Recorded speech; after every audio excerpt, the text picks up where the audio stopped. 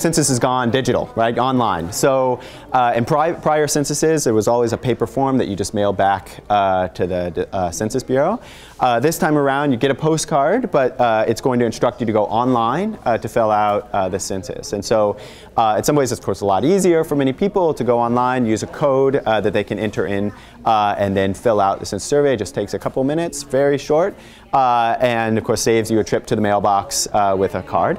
Uh, so that's one big change what people see. Of course, that's not the only way you can complete the census. Uh, there will still be a mail option. There will still be a phone option. You can call in uh, and, and, talk to a representative at Census Bureau to provide them with the information. Uh, there's also uh, going to be enumerators, of course, that are sent out as well for people who don't respond by mail, online, or by phone, uh, to, to door to door to count people. so those parts of the decennial will be familiar to many people.